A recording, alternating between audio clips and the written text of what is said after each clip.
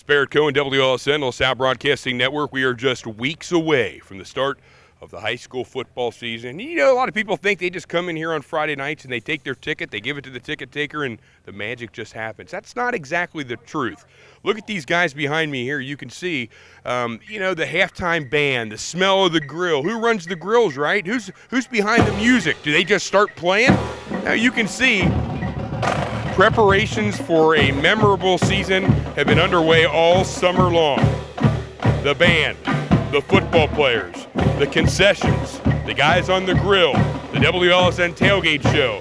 A lot of people have been putting some uh, uh, some hard work and a lot of hours in to make this a very special football season for not just the kids, but for you, the fan. We hope you join us on August 29th when we kick it all kick it all off at Yager Stadium Kicks off at 8.30 with Colerain Cardinals.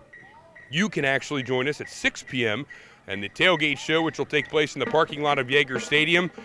6 to 7, Chris Malk will come up, class of 95. He'll come up from Nashville to, to sing for about an hour. Great blues and soul singer. And at 7 o'clock, we'll have the WLSN tailgate show, which will take you almost up to kickoff at 8.30 down at Yager Stadium. LaSalle, Colerain, WLSN, Class X Radio, and the LaSalle Broadcasting Network. Reporting live right here from Lancer Stadium with executive producer Mike Nye, Barrett Cohen, WLSN.